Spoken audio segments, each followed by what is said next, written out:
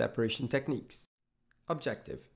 Describe how to separate homogeneous and heterogeneous mixtures. Magnetism.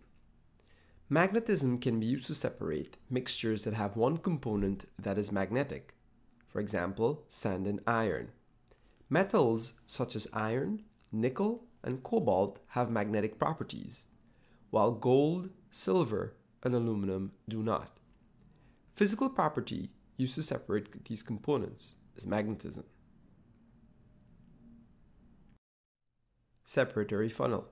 A separatory funnel can be used to separate two liquids that do not mix, immiscible liquids, for example oil and water. The physical property used to separate these components are solubility and molecular polarity. Filtration. Filtration can be used to separate components of mixtures with different sizes. For example, sand and water. Particles smaller than the filter holes pass through and is called a filtrate, while the component that remain behind on a filter paper is called the residue. Physical property used to separate components is particle size.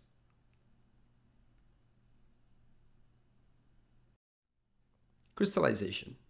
Crystallization can be used to separate homogeneous mixtures such as a solid dissolved in a liquid, for example salt and water.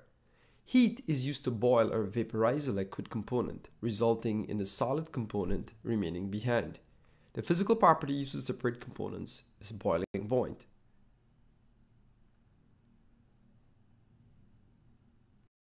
Chromatography. Chromatography can be used to separate a mixture into its individual components. Paper chromatography uses a strip of paper, which is known as the stationary phase, and a solvent, known as the mobile phase, and via capillary action, it is used to separate the components of the mixture. Substances separate based on their interaction to either the stationary phase or the mobile phase. The physical properties used to separate these substances are solubility, and molecular polarity. Distillation. Distillation separates mixtures based on the different boiling points of the various components. It is usually used to separate a liquid from a solution, for example, alcohol and water. The mixture is heated and the vapor is recovered by condensation using a condenser.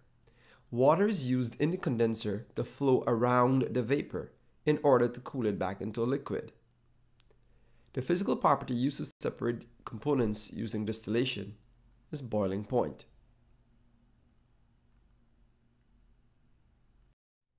Fractional distillation of petroleum. Crude oil is a mixture of many hydrocarbon compounds. The use of a fractionating tower allows the separation of this mixture, which is based on the different boiling points of their components. Here, the distillation of crude oil can be seen where crude oil is fed into a furnace, which is then fed into a fractionating tower. And the different components that boil at different temperatures are extracted